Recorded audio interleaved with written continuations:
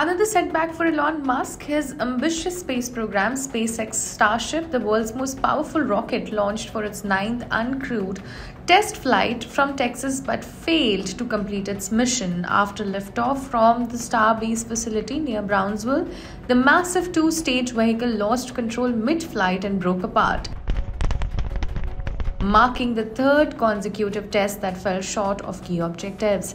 Here's what happened during the launch and what it means for the future of SpaceX interplanetary ambitions.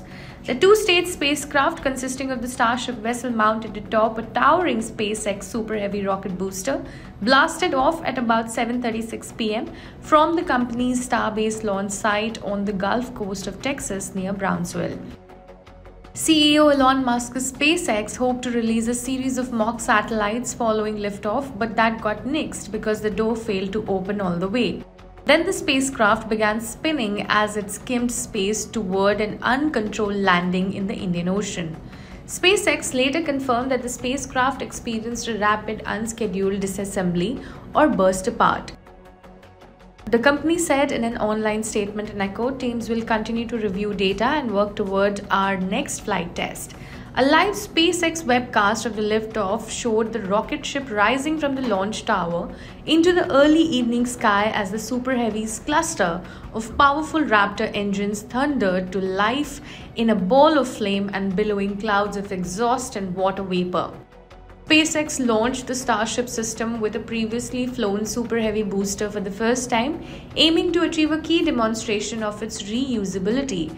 The 232 foot first stage booster will not attempt a return to its launch pad but target the Gulf of Mexico for a controlled splashdown. Federal regulators granted SpaceX a license for Starship's latest flight attempt just four days ago, capping a mishap investigation that had grounded Starship for nearly two months.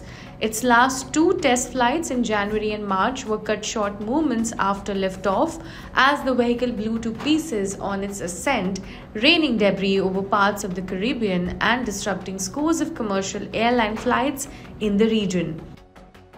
The Federal Aviation Administration expanded debris hazard zones around the ascent path for Tuesday's launch, the ninth full test flight of the Starship campaign. The previous back to back failures occurred in early test flight phases that SpaceX had easily achieved before, dealing a striking setback to a program that Musk, the billionaire entrepreneur who founded the rocket company in 2002, had sought to accelerate this year.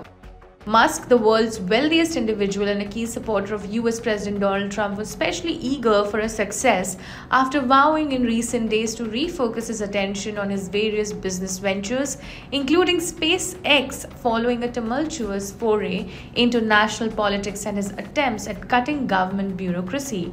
Musk is counting on Starship to fulfill his goal of producing a large, multi purpose, next generation spacecraft capable of sending people and cargo to the moon later this decade and ultimately flying to Mars.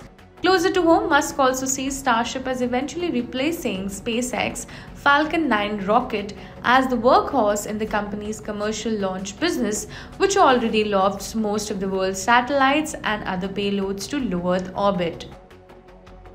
Musk was scheduled to deliver an update on his space exploration ambitions in a speech from Starbase following the test flight to be live streamed under the banner slogan, and I quote, The Road to Making Life Multiplanetary. He was expected to offer new timelines and development plans for sending cargo and potentially astronauts aboard Starship on voyages to Mars, a tantalizing but still distant future destination for human spaceflight that poses major technical hurdles for SpaceX and NASA.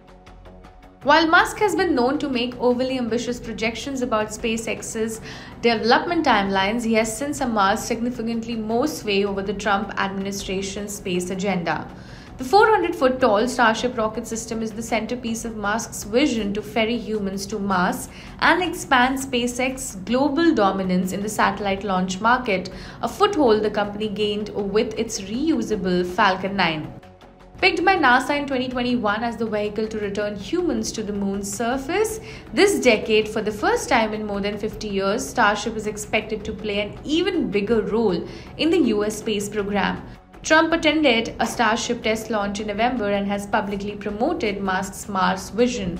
Musk and SpaceX remain influential over US space policy despite his recent shift away from government and signals to cut political spending.